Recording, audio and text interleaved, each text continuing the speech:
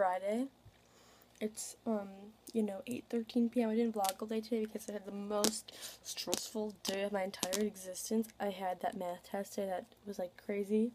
Everyone, oh well, I keep always saying ever because I think I'm talking to someone from school, but like it's a very, it was a very big deal in our school. It was like this huge test, and um, it was it was really hard. I don't know how I did.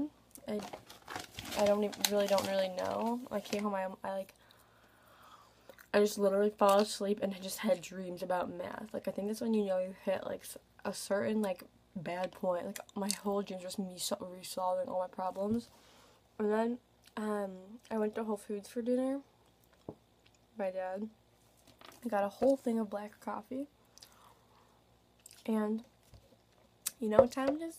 Homework time. So I'm doing I have a lot today again. Um I'm probably going to bed at like midnight today one maybe. This is a history project, a history like I don't know how to explain. It's like not a paper, like um, it's kind of like a DBQ, but not really. I mean, you guys have taken APUS before, but um, I did that today. Uh, I just need to. There's so much more. I just don't even want to think about it. And then I have to edit a video. I'm editing my vlog this right now. I also have no energy. My eyes are like my eyes close. They're like really, really, really red.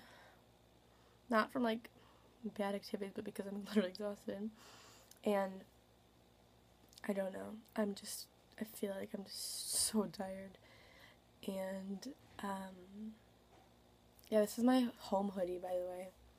It's like it's like literally just like this little Victoria's Secret. I wear it every single day after school. I just change into this and the and usually sweatpants, but today I'm wearing leggings because I went to Whole Foods my hair is in a bun and I haven't washed my hair in three days. Look how greasy it looks. Ooh, it's so beautiful. That's when you know I'm stressed. I just, today I don't even know what I wore to school. I wore like some random yoga pants, some random hoodie, hair up, no extensions. Like, you probably think I dress cute for school sometimes, but you know, I'm so stressed to the point you can tell, like, how I'm feeling by how I'm dressed. Like, if I'm really stressed out or not. Like, literally, if I'm wearing hair in a, this is what this is what I look like today. Ultimate stress, walking ball of stress. Um, ah, so I'm just really tired. That's really, I know it's like not a cutting update at all, but that's really my life. It's junior year, you know? Tomorrow's Friday, and tomorrow I'm seeing Catching Fire show. Um, that should be really fun, you know? And tomorrow should be like so nice after to just know I'm done with everything. Uh, my Nasty Gal order came in from Cyber Monday. It was really quick. You guys were like, oh, you should show when it comes in. I'll try them on or something later tonight, probably.